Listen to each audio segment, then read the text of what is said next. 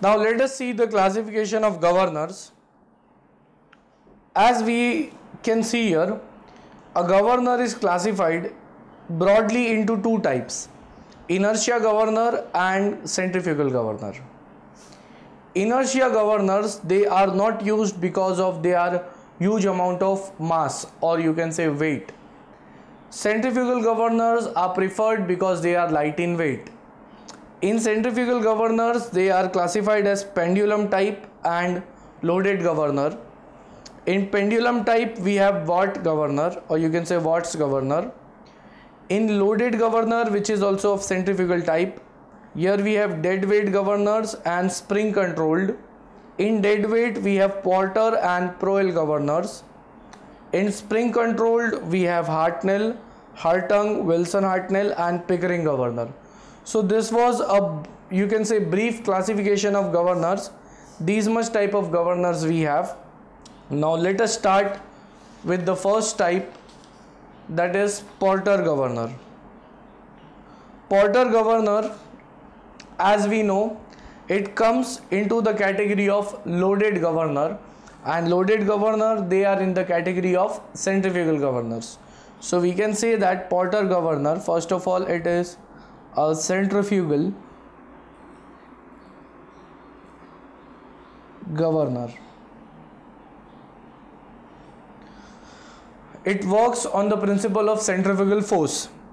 Now let us see how this governor works. As we can see in this diagram, Porter governor has some parts. Here we have a spindle which would be rotating. Then there is dead weight kept. Because of the dead weight which is kept here it is called as dead weight governor or loaded governor because of the dead weight attached. Next there are fly, fly balls which we can see here in red color. These are the fly balls having some mass and then there is sleeve attached. What happens? First of all when the engine speed increases then these fly balls they would be moving outwards.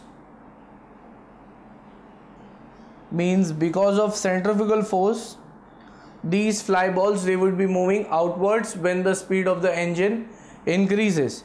And engine speed the governor is directly connected to the crankshaft.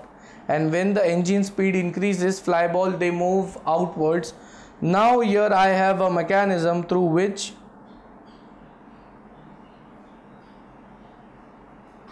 the shaft of the governor is connected directly to the engine fuel supply. Means this portion would again go and control it would be controlling the engine fuel supply. Now we can say that when the fly balls they are moving in outward direction this sleeve moves up. And when the sleeve moves up here is a connection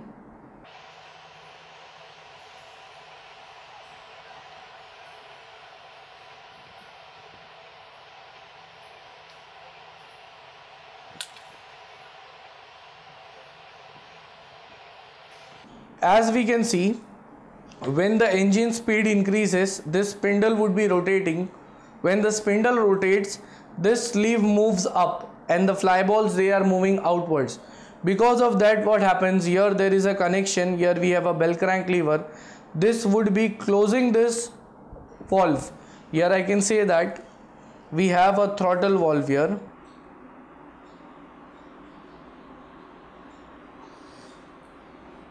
here we have a throttle. So when the engine speed increases this sleeve moves up and because of that here we have a bell crank lever. This would be closing this application. It would be the throttle valve would close this passage. That is the supply of fuel is reduced. And when the supply of fuel is cut the engine again come back to its original speed. This fly balls when they when the speed was increased they were moving outward. Now when the speed is decreased the fly balls they are moving inside because of that. The sleeve is pushed downward and then this valve opens. It tries to straighten. And when this valve opens the fuel supply is increased. And again the engine speed is maintained. So as we have seen in this way by using the governor the fuel supply will be maintained. And governor is connected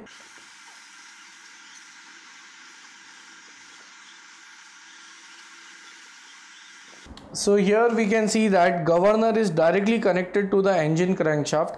And as the speed of the engine increases this spindle would start rotating at a very high velocity. Because of that since we are having fly ball which have masses the centrifugal force is generated and these fly balls they try to move outwards. And when the fly ball try to move outwards the sleeve gets lifted and the fuel supply here it is cut off this throttle valve will try to close this passage. And then the fuel supply to the engine this is the fuel supply is to the engine. This fuel supply goes on reducing. And as we can say when the fuel supply is reduced engine speed is it comes back to its original value. And when it has reached the original value these fly balls they move inside pushing the sleeve downward. When the sleeve is pulled pushed downward then this passage again opens. The throttle valve will try to be straight. It would be try to be vertical. And this space is fully opened and the fuel supply increases.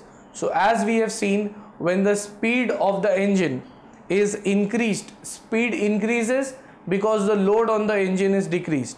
And when the load on the engine is decreased speed is increased we reduce the fuel supply here. And when we can say that the speed the load on the engine decreases its speed increases. And when the load on the engine is increased its speed decreases. And accordingly the flywheel uh, you can say here we have governor. This governor would be controlling the supply of working fluid to the engine and maintaining a constant speed. So this was regarding a brief working of a governor. All the governors which we have they have such kind of control over the fuel supply the only difference in the types of governor is in the construction of that. Here we are having Porter governor which has dead weight. Similarly we can have some another kind of governor. Only difference would be in the construction of the parts. Otherwise the working is same for all types of governor